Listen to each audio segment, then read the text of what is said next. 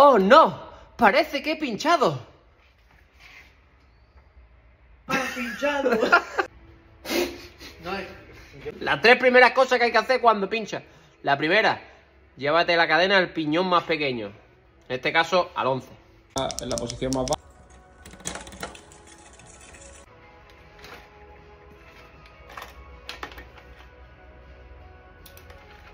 Punto número 2. Destalona el neumático. ¿Y qué es destalona el neumático? Pues despégale el labio. ¿Vale? Lo tienes que despegar de los dos lados. Para que después a la hora de meter el desmontable sea más fácil. Punto número 3. Es el momento de coger el desmontable. Zona de la válvula. Está aquí. Pellizco. Desmontable dentro. Con la cubierta afuera.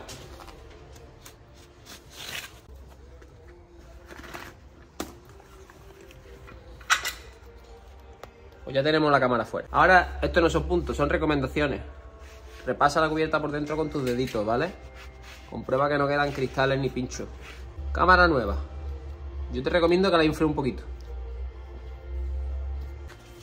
Zona del agujero. Le pegas el pellizco. Válvula dentro. Y ahora se trata de meter cámara entre cubierta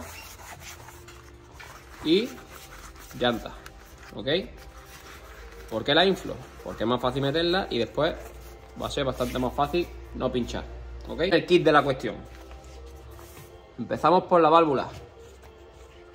Mete el pellizco aquí primero. ¿Vale?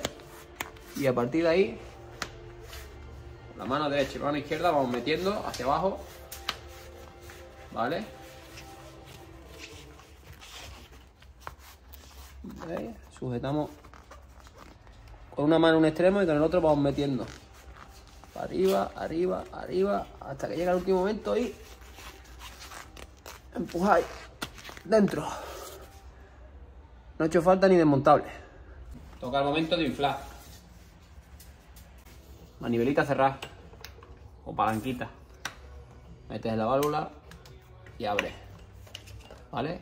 Con la palanquita hacia abajo. Abierto.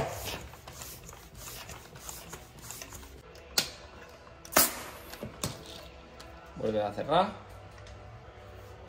Estamos listos. Te vuelves a asegurar de que el cambio está en la posición más baja.